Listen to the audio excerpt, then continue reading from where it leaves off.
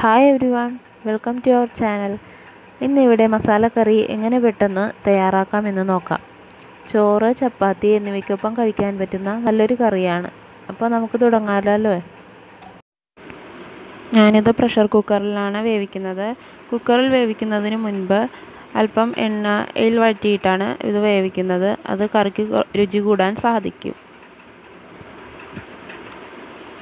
Pressure cooker കുറച്ച് ചൂടാക്കി അതിലേക്ക് എണ്ണ ഒഴിച്ച് കൊടുക്കാം. എണ്ണ നന്നായി ചൂടാകുമ്പോൾ അതിലേക്ക് മീഡിയം സൈസിൽ അരിഞ്ഞു വെച്ചിരിക്കുന്ന ക്യാരറ്റും ഉരുളക്കിഴങ്ങും ആഡ് ചെയ്യാം. മൂന്ന് മിനിറ്റ് നന്നായി സോട്ട് ചെയ്യുക. നന്നായി ഇളക്കി കൊടുത്തുകൊണ്ടിരിക്കുക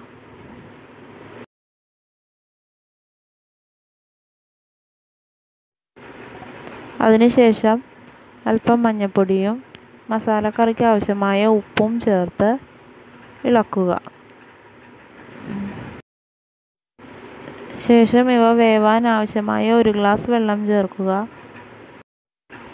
പിന്നീട് പ്രഷർ കുക്കർ അടച്ച ശേഷം ഹൈ ഫ്ലെയിമിൽ ഒരു വിസിൽ വരുന്നത് വരെ വേവിക്കുക. ഇനി കറി ഉണ്ടാക്കാനായി നമുക്കൊരു ചട്ടി ചൂടാക്കാം.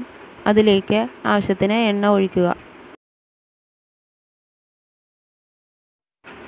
അതിലേക്ക് കനം കുറഞ്ഞരിഞ്ഞു വെച്ച സവാളയും പച്ചമുളകും ചേർത്ത് നന്നായി വഴറ്റുക. ഒരുവിധം വാടിയാൽ മതിയാകും.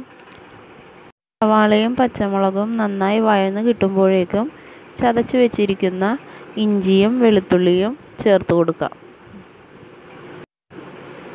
ഒന്നര ടീസ്പൂൺ ഇഞ്ചിയും ഒന്നര ടീസ്പൂൺ വെളുത്തുള്ളിയുമാണ് ചേർത്തത്. ഇതിന്റെ പച്ചമണം മാറി വരുമ്പോഴേക്കും മസാലപ്പൊടികളെല്ലാം നമുക്ക് ചേർക്കാം. രണ്ട് രണ്ട് സ്പൂൺ മല്ലിപ്പൊടി അര സ്പൂൺ മഞ്ഞൾപ്പൊടി ഒരു ടീസ്പൂൺ മുളക് പൊടി അര ടീസ്പൂൺ കുരുമുളക് പൊടി അര ടീസ്പൂൺ ഗരം മസാല. ഇവയൊക്കെ ചേർത്ത് നന്നായി വഴറ്റി കൊടുക്കുക. ലോ ഫ്ലെയിമിലാക്കിയാണ് വഴറ്റേണ്ടത്. അല്ലെങ്കിൽ പൊടി കരിഞ്ഞു പോകാൻ സാധ്യതയുണ്ട്. പൊടിയുടെ പച്ചമണം മാറി വന്നിട്ടുണ്ട്. ഇതിലേക്ക് ഒരു വലിയ സൈസ് തക്കാളി ചെറുതായി അരിഞ്ഞത് ചേർത്ത് കൊടുക്കാം. എന്നിട്ട് ഇവയെല്ലാം നന്നായി വഴറ്റി കൊടുക്കാം. ഉടഞ്ഞ ഭാഗമായ തക്കാളിയിലേക്ക് വേവിച്ച് വെച്ചിരിക്കുന്ന ക്യാരറ്റും ഉരുളക്കിഴങ്ങും ചേർത്ത് കൊടുക്കുക. ശേഷം നന്നായി ഇളക്കുക. ചിലർ ഇതിൽ പച്ച ഗ്രീൻ പീസും കോളിഫ്ലവറും ചേർക്കാറുണ്ട്. കറി പാകമാകുന്ന സമയം കൊണ്ട് ചെറിയ ചട്ടി ചൂടാക്കുക. അതിലേക്ക് അല്പം എണ്ണ ഒഴിക്കുക. അതിലേക്ക് മൂന്ന് സ്പൂൺ തേങ്ങ ചിരവേത് ഇട്ട് കൊടുക്കുക. ശേഷം ഒരു ലൈറ്റ് ബ്രൗൺ നിറമാകുന്നത് വരെ ഇളക്കിക്കൊണ്ടിരിക്കുക. തേങ്ങ അധികം കരിഞ്ഞു പോകേണ്ട ആവശ്യമില്ല. ഒരു ലൈറ്റ് ബ്രൗൺ നിറമായാൽ മതി. ഇത് മിക്സിയിലിട്ട് നന്നായി അരച്ചെടുത്തതാണ്. ഇത് നമുക്ക് കറിയിലേക്ക് ചേർത്ത് കൊടുക്കാം.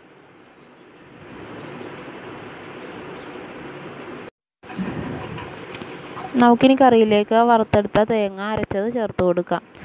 ചേർത്ത് കൊടുത്തതിന് ശേഷം അത് കറി നന്നായി ഇളക്കി യോജിപ്പിക്കുക.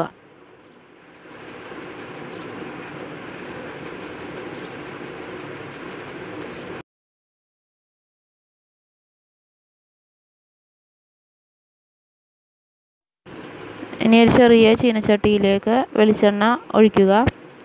അതിനുശേഷം അതിലേക്ക് ഉള്ളി കൊച്ചുള്ളി അരിഞ്ഞു വെച്ചത് ഇടുക. വേപ്പിലയും ഇടുക. ശേഷം നന്നായി വഴറ്റി കൊടുക്കുക. ഇത് കറിയിലേക്കുള്ള താളിപ്പാണ്. ഇതിൽ കടുക് ഇടേണ്ട ആവശ്യം ഇല്ല. ഇനി ഈ താളിപ്പ് നമുക്ക് മസാല കറിയിലേക്ക് ചേർത്ത് കൊടുക്കാം. ശേഷം നന്നായി ഇളക്കി കൊടുക്കുക. നന്നായി മിക്സ് ചെയ്ത് താളിപ്പിന്റെ ആ രുചി കറിയിലേക്ക് പിടിക്കുന്നത് വരെ മിക്സ് ചെയ്ത് കൊടുക്കാം. സ്വാദിഷ്ടമായ മസാലക്കറി ഇവിടെ തയ്യാറായി. ഇതിലേക്ക് വേണമെങ്കിൽ മല്ലിയില അരിഞ്ഞത് ചേർത്ത് കൊടുക്കാം. ഈ റെസിപ്പി നിങ്ങൾക്ക് ഇഷ്ടപ്പെട്ടെങ്കിൽ നിങ്ങൾ ലൈക്ക് ചെയ്യുക സബ്സ്ക്രൈബ് ചെയ്യുക ഷെയർ ചെയ്യുക.